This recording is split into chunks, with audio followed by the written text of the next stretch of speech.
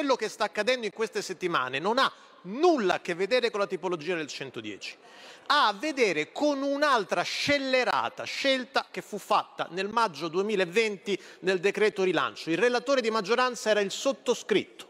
Sul debito a effetto quando tiri il fabbisogno di cassa, indipendentemente dalla registrazione in competenza economica. Sono cose che ve lo stato spiegato.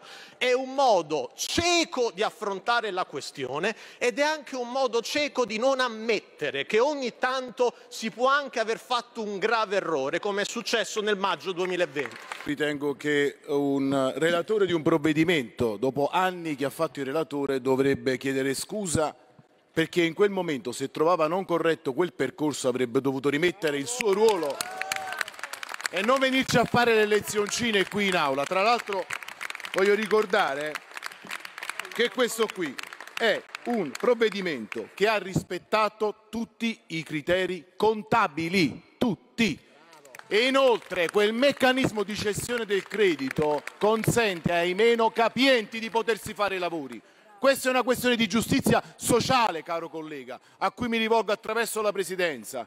Se io ho mille ricchi che vogliono fare 100.000 euro di lavori alle proprie case, generano ben 100 milioni di lavoro. Allora se loro hanno capienza possono farsi i lavori.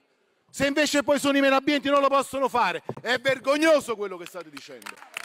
E vi attaccheremo la prossima settimana nel merito, nel metodo e anche su tutti i risultati che il Paese ha ottenuto con questo provvedimento. Grazie a noi!